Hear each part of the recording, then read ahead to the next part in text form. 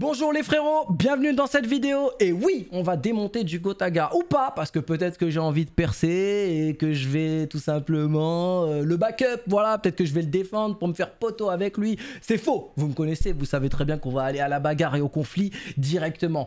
Quoique, parce que Gotaga est quand même quelqu'un que je respecte et euh, parce qu'il a mérité mon respect. Pas parce que c'est Gotaga et que euh, il a un nom prestigieux et que c'est un grand, il a beaucoup de followers et ce genre de choses. Non, c'est parce que euh, aujourd'hui c'est un très grand entrepreneur, il a un pied dans l'e-sport, il a un pied également dans le milieu du divertissement du gaming, donc euh, au niveau euh, du show, du divertissement, des spectacles, des émissions, il crée pas mal de choses, donc il sait également des choses que moi-même je ne sais pas. Et donc peut-être que il a donné un petit peu des informations et que nous on est beaucoup trop dans notre niche pour comprendre ce qu'il a voulu dire. Parce que Gotaga s'est exprimé autour de CSGO et de Valorant, il, il a fait une petite guéguerre entre les deux jeux, entre les deux communautés. Se seront déchirés, il se fait insulter, il se fait lyncher dans tous les sens, il se fait un petit peu harceler, parce que c'est le mot euh, à la mode aujourd'hui, euh, à juste titre ou pas. Bon, rien ne, euh, rien ne ne justifie tel comportement selon moi, mais dans tous les cas, je vais essayer donc de donner moi mon expérience,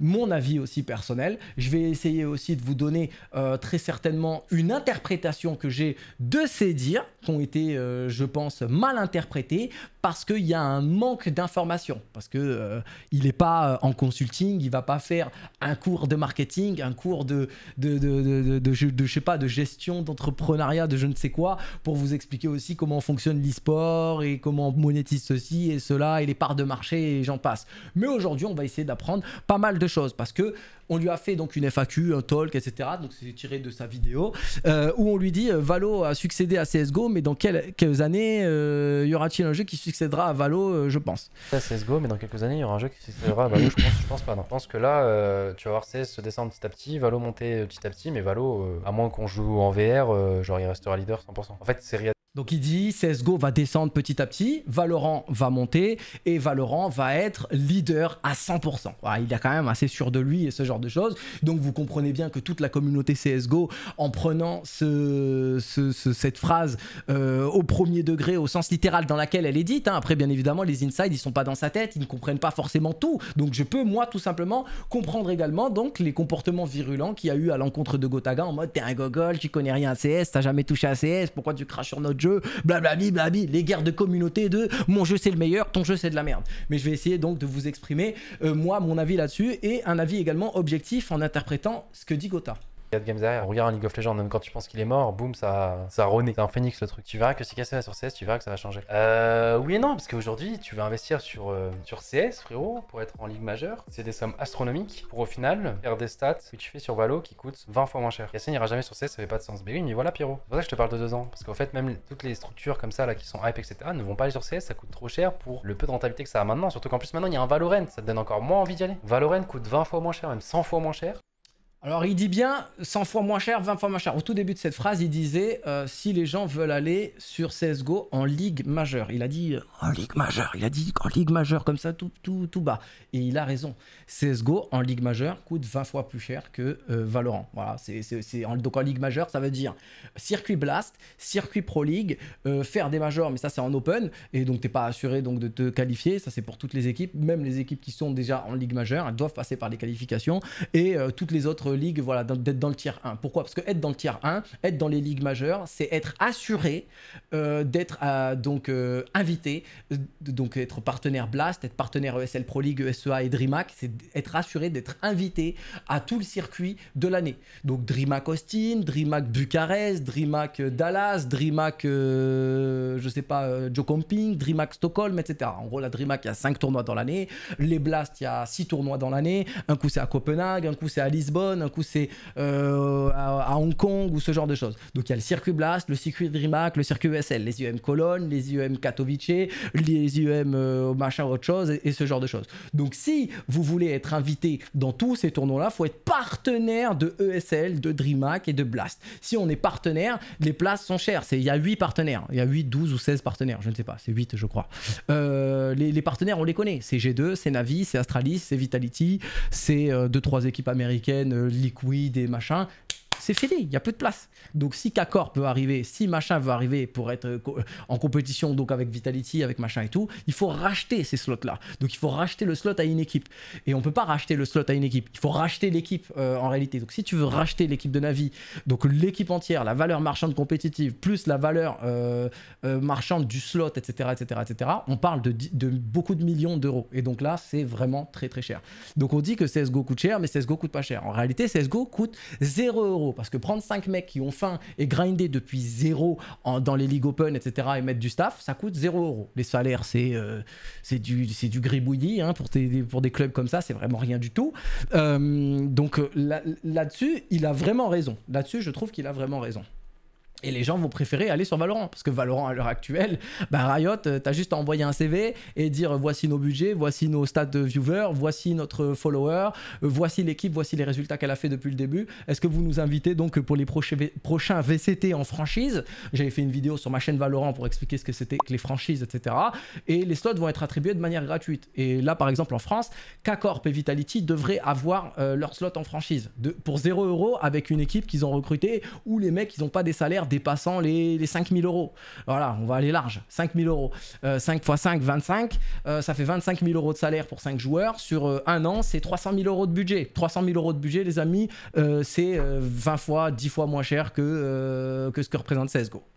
Voilà, donc au niveau monnaie, monnaie, quand on parle tiers 1, etc., oui, c'est le cas. Parce qu'à jeu équivalent, à compétition équivalente, à prestige équivalent, eh ben, Valorant est vraiment moins cher que CSGO. Mais CSGO, on peut y aller de manière quasi gratuite et essayer de grind. Mais est-ce que Solari a envie de faire ça? Est-ce que K-Corp a envie de faire ça? Est-ce que la Gotaga Corp a envie de faire ça? Créer son truc et faire ça? Est-ce que Mandatory a envie de faire ça? Est-ce que, euh, je sais pas moi, BDS a envie de faire ça? Est-ce que Gamers Origin a envie de faire ça? Peut-être pas en fait, parce qu'il y a aussi euh, l'image de, des fans, de la popularité, de, la communauté. Sur euh, League of Legends, Vitality sont LEC, machin, est-ce qu'ils ont envie d'être des merdes entre guillemets sur CSGO Bon, ils sont bien sur CSGO, mais on parlait de K-Corp. K-Corp, ils sont à LFL, ils ont gagné les EU Master, etc. Est-ce qu'ils ont envie d'aller sur CSGO pour 0 euros Comme ça, dans les monnaies, dans, leur, dans leur écosystème, ils s'y retrouvent. Au niveau des sponsors, ils n'ont pas d'exigence, etc. Ils s'y retrouvent. monétairement parlant, ils s'y retrouvent. Mais est-ce qu'ils ont envie de décevoir leurs fans en train de dire euh, les gars, nous sur League of Legends, on est les boss des boss, mais sur CSGO, on est des chaussettes. Et pareil pour Solari, et pareil pour BDS. Donc au final, ils délaissent CSGO de ce côté-là. Parce qu'en plus, ils ont un substitut aujourd'hui. Ils ont un remplaçant. C'est le, le, jeu e-sport FPS. Voilà, c'est ça en fait, la discipline. Aujourd'hui, c'est ce qu'on appelle part de marché, etc. Et là, c'est ce qu'ils disaient au tout début. En mode CSGO, c'est en train de descendre. Euh, euh, euh, CSGO c'est en train de descendre, Valorant c'est en train de monter, dans deux ans, finito, 100%, Riot il pisse sur tout le monde, etc. Là, je suis pas d'accord avec lui. Après, il doit avoir des insides. C'est là où je me dis, le Gotha, il est pas con, il sait ce qu'il dit. Euh, il est pote avec Zerator, il est pote avec Kamel, il est pote avec, euh, avec Neo, ou peut-être pas, parce que je crois qu'ils sont clashés avec Vitality. Mais euh, très certainement qu'il va avoir des insides et qu'il doit avoir des, des, conversations avec eux en mode Ouais, Gotha, ouais, là, on va rentrer, on a eu une discussion avec Riot France, etc. On va rentrer machin. Ouais, ça vous a coûté combien? Ouais, ça nous coûte zéro, frérot. Hein, et juste, ils nous font confiance, c'est sur du long terme, on va essayer de grind la scène, etc. Parce que moi, mes, mes, mes petits, mes petits birds, là, ils, ils me racontent ce genre de choses. Pour l'instant, c'est gratuit sur euh, Valorant parce qu'on veut créer un contrat, un partenariat euh, euh, de, loyauté sur du long terme avec des écuries qui vont vraiment investir sur du long terme, pas lâcher le jeu, continuer de recruter, continuer d'être compétitif, continuer d'essayer de faire du storytelling avec des ambassadeurs qui vont streamer les matchs compétitifs, etc. pour ramener de la popularité et faire grossir un petit peu donc la scène Valorant. C'est le contrat, voilà, c'est le contrat qu'il y a de ce que j'ai entendu entre les écuries et Riot. Et ça, c'est gratuit, c'est 0 euros. C'est juste ta parole avec la mienne. Et on va essayer de faire ça, de, faire, de créer un gros business, que notre business dans 3, 4, 5, 10, 15 ans, il valent des centaines de millions d'euros, voire des milliards. Et au final, ben, on se partagera tous cette part de gâteau. Et c'est donc euh, ça. Alors que euh, sur CSGO, il dit ben, ça descend. Bon, ça, c'est faux. J'ai prouvé, j'ai reprouvé avec des vidéos, des actus. CSGO, c'est en train de, de, de, grinder de ouf. C'est en train de reprendre du poil de la bête. Valorant a fait du mal à CSGO. Mais sur certaines parts de marché, avec euh, des. On voit clairement que la communauté s'est scindée euh, en deux, avec une communauté qui a lâché CSGO et qui est partie sur Valorant dans certaines régions. On va parler vraiment de manière géographique. Et là, on peut donner le parallèle avec League of Legends et Dota 2. Vous allez en Russie, personne ne joue à League of Legends. Et League of Legends est le jeu euh, MOBA, je crois, c'est comme ça qu'on dit, numéro 1 dans le monde. Mais vous allez en Russie, tu te fais pisser dessus si tu parles de League of Legends. Les mecs jouent à Dota 2. Je pense que c'est ce qui va se passer, moi. Ça n'engage que moi, c'est mon avis. Je pense que sur certaines régions, c'est ce qui va se passer avec CSGO et Valorant. Il y aura clairement des zones, des pays où ils vont jouer qu'à Valorant et pas forcément CSGO. CSGO, par exemple, en Chine, ils y jouent pas de ouf, de ouf, de ouf, de ouf. Donc tout ce qui est asiatique même. Japon, Chine, Corée du Sud, euh, Thaïlande, euh, Philippines, euh, l'Indonésie, vraiment tout, tout, tout le coin asiatique, CSGO, pas fou, fou, fou, fou. Alors que là, Valorant, je le vois, il gragne de malade au niveau de ses stats là-dessus. Donc là, on peut dire, ah ouais, CSGO, ça crève en Chine, Valorant, ça monte en Chine. C'est une part de marché, ça n'a jamais été un jeu de ouf déjà là-bas en fait. Les Chinois, ils sont pas bons sur CSGO, ils, ils venaient en Europe, ils se faisaient péter le cul par des mecs du T4 quand t'es nul, tu supportes pas ton équipe. Et c'est vraiment comme ça que euh, les Asiatiques ils viennent pour gagner, entre guillemets. Et là, en tout cas, bah, il y a Valorant, euh, League of Legends est très populaire aussi en Asie, donc ça grind à mort. Euh, au niveau des NA, donc de, Nord-Amérique, donc Amérique, Canada, etc., CSGO, ça a chuté également. Pourquoi? Parce que la communauté s'est scindée en deux. Et Valorant est arrivé, les organisations ont investi en masse sur ce nouveau jeu, ils, ont, ils sont allés recruter toutes les équipes qu'il y avait sur CSGO, ils ont recruté les joueurs, ils ont dit ah, on va te mettre x2, on va te mettre x3, on va te mettre x4 ton salaire que tu as sur CSGO, mais tu joues sur Valorant. Et tous les mecs, ils ont switché, etc.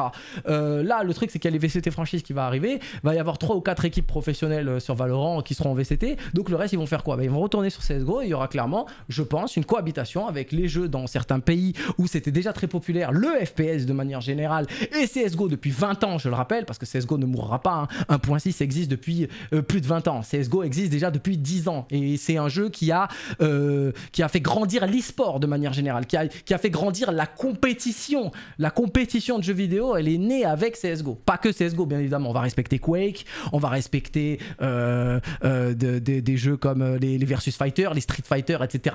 en Asie, c'était voilà, hein, la folie. Hein, Street Fighter, Tekken et tout, c'est quand même une dinguerie. Mais si on parle d'e-sport, de compétition de jeux vidéo, le FPS, ça a toujours été donc les fast FPS, style Quake, etc. Mais c'est Counter Strike, donc il ne crèvera pas il est même en train de progresser statistiquement. Par contre, en France, il est en train de mourir. Et ça, je peux le dire, euh, je le vois, il y a moins d'influenceurs, il y a moins de streamers, il y a moins de youtubeurs. Les statistiques de compétition française sur la scène française, donc la scène locale, la scène nationale, la scène régionale, donc les équipes du subtop, les équipes qui sont professionnalisées dans le circuit français, donc comme si on comparait au foot avec la Ligue 1, donc les gens qui suivent Metz, Clermont, Lille, Reims, l'OM, Lyon euh, et tout ça, ils sont beaucoup plus assidus et ils sont beaucoup plus nombreux sur Valorant que sur CSGO. Parce qu'il y a un désintérêt, il y a un désamour pour CSGO, routine, euh, je ne sais pas, manque de contenu, manque d'influenceurs, la qualité aussi peut-être est moins bonne, le charisme aussi des joueurs de la compétition. On parle également beaucoup de charisme. Moi en tout cas, je suis un, fervent euh, défenseur de cela en disant que en France, il n'y a aucun acteur qui a du charisme, c'est que des chaussettes, c'est que des bouffes-couilles, c'est que des suceurs qui ils font rien, ils créent aucun contenu, c'est des béni oui de ouf et ils sont pas originaux, ils copient tout, c'est tous des, des plagieurs de malades. C'est, il y a rien, y a rien. Donc au final, il y a un désintérêt de ouf. Mais euh, ça, ça n'engage que moi. Et donc Gotaga euh, là où il a tort, c'est sur la mort de CSGO, etc. Mais il a raison dans un sens, parce que très certainement que lui, il doit avoir euh, une métrique, hein, euh, des calculs, etc. Enfin, il doit avoir des statistiques où il doit parler avec Kameto, avec Zerator, avec des mecs de Riot. Et le mec de Riot doit non, non, regarde, là, là c'est la crise. Hein. Là, en France, CSGO, on vend beaucoup moins de CSGO, on vend beaucoup plus de machin. C'est une question de part de marché. C'est aussi simple que ça. Une Renault Clio, en France, vous en voyez partout. Une Renault Clio euh, au Brésil, vous en voyez pas forcément. Une Renault Clio dans le Texas, vous en voyez pas forcément. Des Ford en France, on n'en voit pas beaucoup. Des grands pick-up euh, de 4 mètres euh, sur 6 mètres, des grands cubes et tout, des Hummer et tout, on en voit aux États-Unis. C'est comme ça, c'est une question de part de marché. Et là, peut-être que lui, il a des informations que je n'ai pas, parce qu'il doit avoir des insides, parce qu'il doit parler en tant qu'investisseur, influenceur, qu'est-ce que je dois faire, est-ce que je dois mettre des émissions là-dessus, est-ce que je dois faire ceci, parce que c'est un entrepreneur.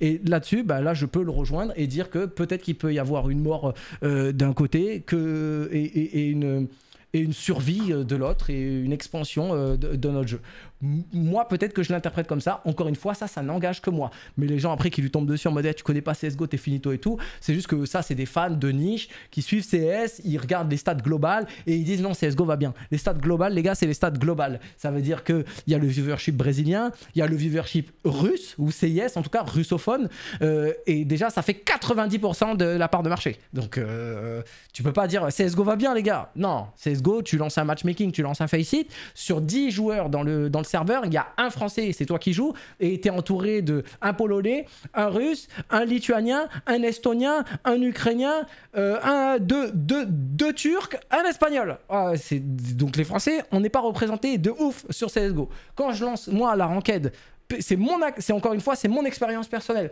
quand je lance la ranked sur Valorant je tombe régulièrement avec des Français. Je tombe régulièrement avec des Français. Pas euh, une fois toutes les trois games ou je sais pas. Je tombe toutes les deux games avec un Français, peut-être avec un duo de Français, ou c'est contre un Français. Mais en tout cas, il y a du bleu, blanc, rouge, il y a du francophone. Et c'est pareil pour les Belges, pour les Suisses, parce que là encore, on parle euh, d'une niche encore plus petite, mais on va parler de toute la francophonie en tout cas c'est en train de perdre sur CSGO, c'est en train de gagner sur Valorant. faut aussi jouer le jeu des influenceurs, le jeu du nombre de streamers, du nombre de youtubeurs. Il y a beaucoup plus de gens aujourd'hui en France qui parlent de Valorant, euh, qui jouent à Valorant, qui font du divertissement sur Valorant que sur CSGO. Sur CSGO, euh, il y a quelques années, euh, l'âge d'or en tout cas de CSGO, il y avait vraiment 4, 5, 6 youtubeurs qui faisaient du contenu assidu sur CSGO et il y en avait quelques-uns qui faisaient comme ça, par-ci par-là. T'avais Skyart, t'avais euh, Shexy, t'avais euh, Moment, Zerator, t'avais euh, euh, Super Connard, t'avais Link, Terracid, t'avais plein de gens, plein de gros youtubeurs qui faisaient du CSGO comme ça parce que ça les faisait kiffer, parce que c'était la hype un peu de CS.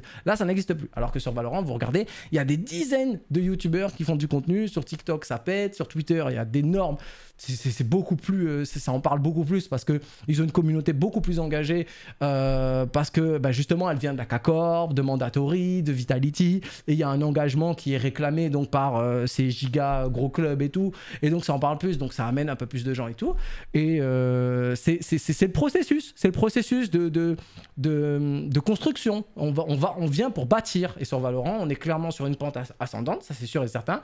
Sur CSGO je dirais pas qu'on est sur une pente descendante parce qu'elle est encore c'est en train de progresser. Les, chiffres ne mentent pas. Les derniers majors, ça fait que progresser. Les derniers UM Cologne bat des records en termes de viewership, en termes de statistiques. Tous les tournois, à chaque fois, il y a plus de viewers, etc. Même le nombre de joueurs quotidiens sur CSGO est équivalent. Il stagne. Il stagne à 1 million de joueurs quotidiens. Il fait des pics un peu plus haut, un peu plus bas.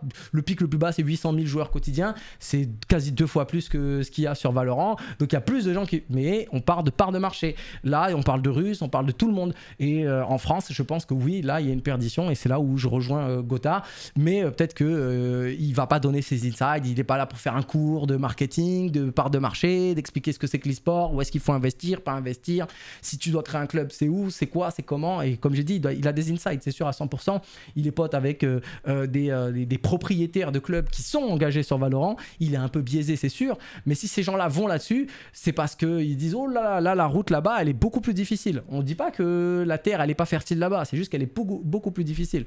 Alors que sur Valorant, euh, c'est une page vierge où, il faut tout construire et tu as tout à gagner. Et c'est un accord un petit peu commun sur euh, une construction qui va venir sur du long terme amener que du bénéfice. Alors que sur CSGO, euh, le terrain il est fait, il faut aller se battre pour aller récupérer un terrain, il faut aller racheter et quand tu rachètes le prix, bah, c'est très très cher. Et là, Gotha a, je pense, raison.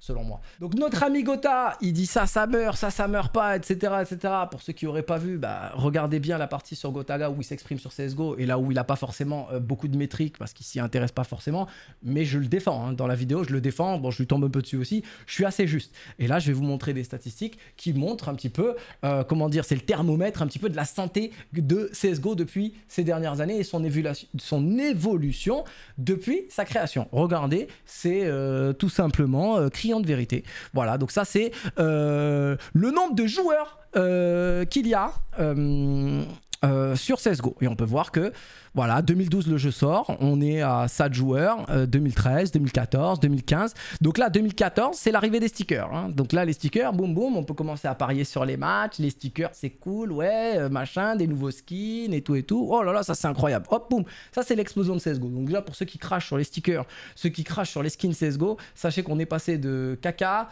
à mieux, à mieux, à beaucoup mieux. Ah, c'est un jeu euh, vraiment intéressant.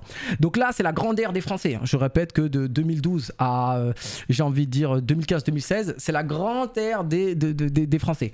LDLC, Very Games, Titan, Envious, c'est là où on gagne les majors, c'est là où on est très très fort les Français. Après, c'est de la merde. Et on peut voir que bah, les Français, depuis que le jeu est très populaire et c'est là où tu peux gagner vraiment des gros cash prizes et beaucoup d'argent, eh ben nous, on s'est un peu, on s'est un peu endormi. donc l'âge d'or de, de, de, 16 en France, il est là. Et euh, c'est là où moi-même j'étais professionnel d'ailleurs. Euh, Et donc 2K15. Et bah, là, là, on est là, on est en machin jusqu'à 2018. À 2017-2018, ça commence vraiment parce que là, 2018, les pics, c'est vraiment euh, Major Boston et tout. C'était euh, vraiment euh, les parts de marché qui étaient prises, je trouve, aux États-Unis. Ça correspond, ça correspond à ces dates-là. Donc on peut voir qu'en 2017, en vrai de vrai, ça commence à chuter.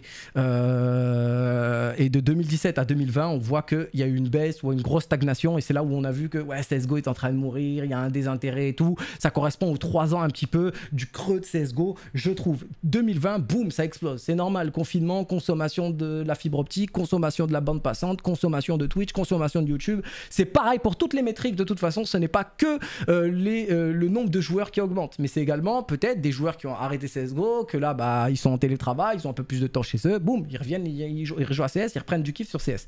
Et donc là, on revoit une explosion de CSGO. Et là, on peut voir que bah ça y est, on est revenu sur une stagnation, mais une stagnation beaucoup plus haute que euh, ce qui était le cas avant. Donc en fait, depuis 2021-2022, CSGO a vraiment, vraiment, vraiment ressuscité on va voir au niveau des Twitch euh, viewers. Donc ça, c'est euh, le nombre de gens qui suivent donc euh, les matchs professionnels et ce genre de choses.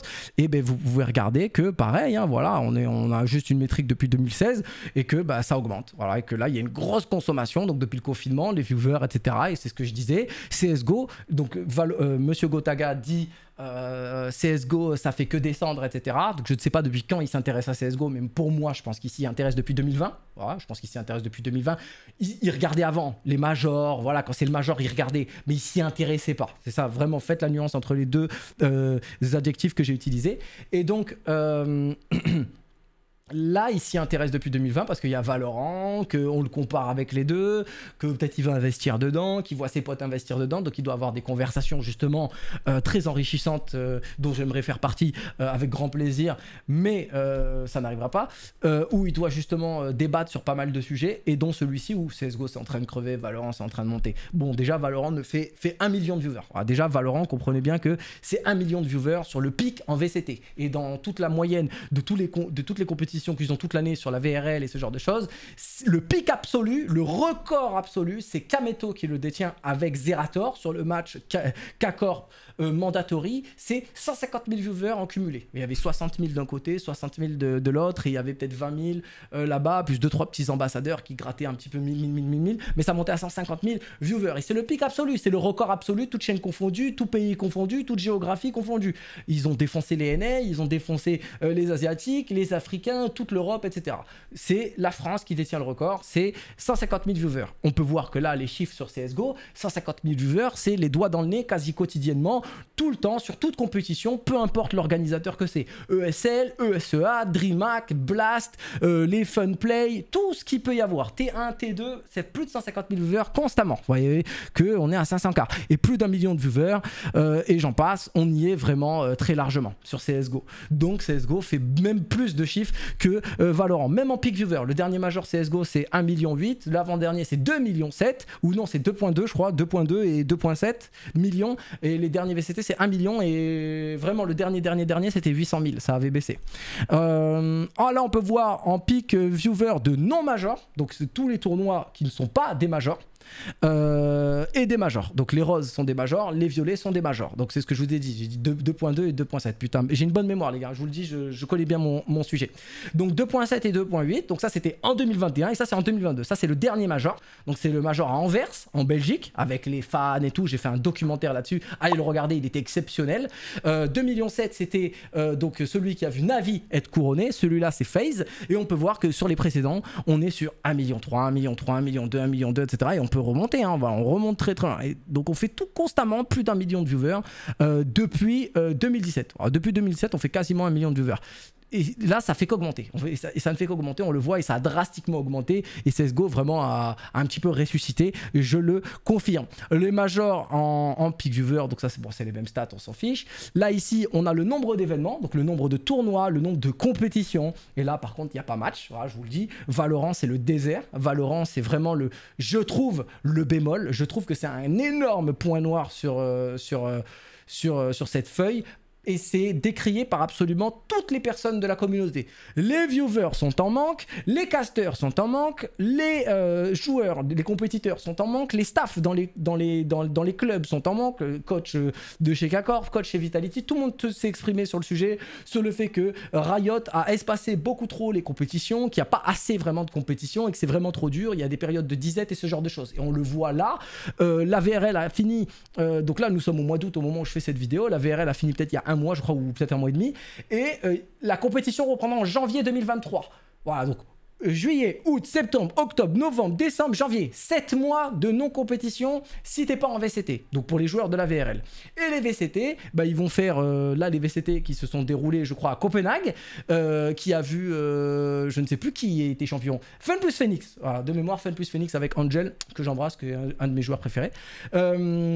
Et euh, les prochains, c'est les Champions, c'est en fin d'année. Et on a tout le temps deux mois, trois mois de, de, rien du tout et tout. Sur CSGO, il n'y a pas le temps. Il n'y a pas le temps. C'est la bagarre tous les jours. Vous voulez regarder des matchs compétitifs, il y en a.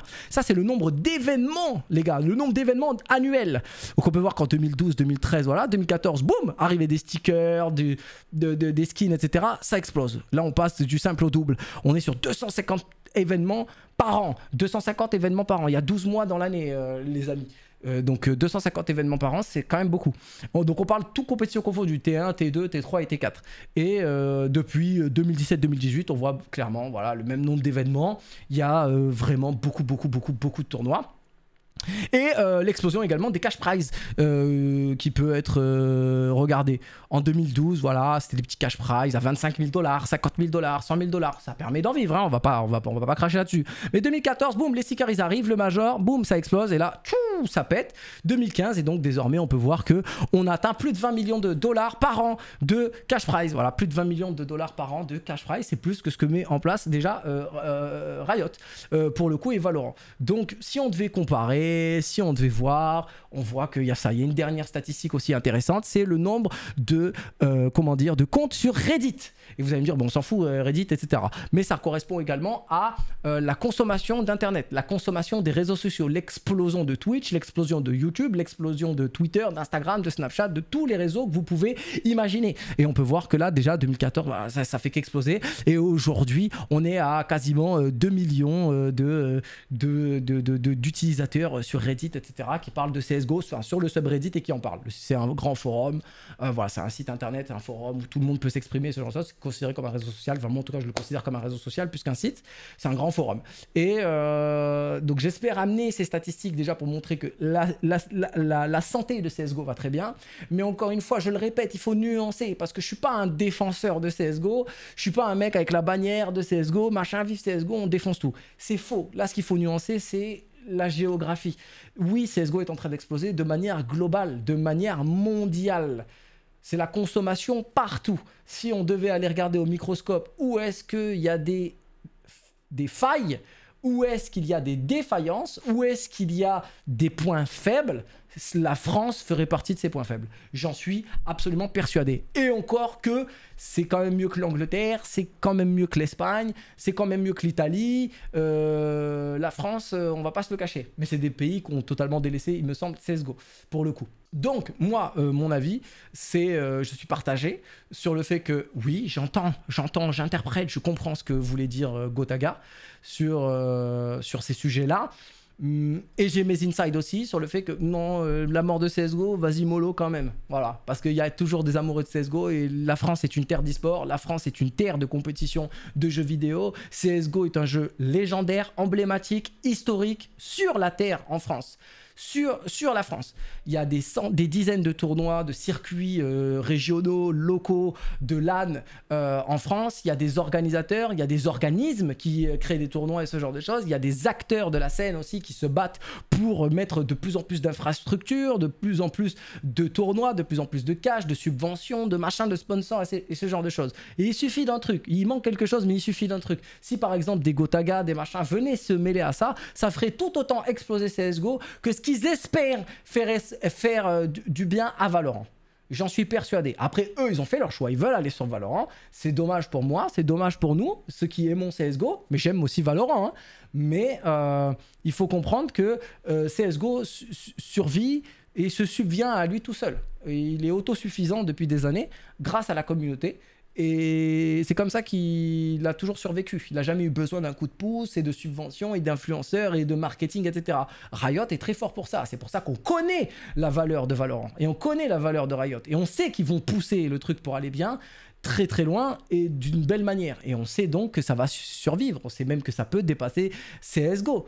Mais est-ce que Valve va se laisser faire? Est-ce que Valve, si d'un coup il voit vraiment un concurrent arriver et lui mettre euh, euh, les, mains, euh, les mains en l'air, allez hop, donne-moi ton, ton argent, est-ce qu'il va pas se laisser faire Valve? Est-ce que là d'un coup ils vont pas essayer de combattre le feu par le feu et justement aller justement payer les influenceurs, faire de plus en plus d'œuvres de, pour faire avancer l'e-sport et la scène de manière nationale. On sait pas, on sait pas mais je comprends ce que veut dire Valor, euh, Monsieur Gotaga. J'espère que vous comprenez aussi, euh, même si ça a été long. Euh, je pense que ça a été très intéressant. Merci d'avoir suivi la vidéo. Je vous embrasse très fort, les amis. Abonnez-vous pour me soutenir.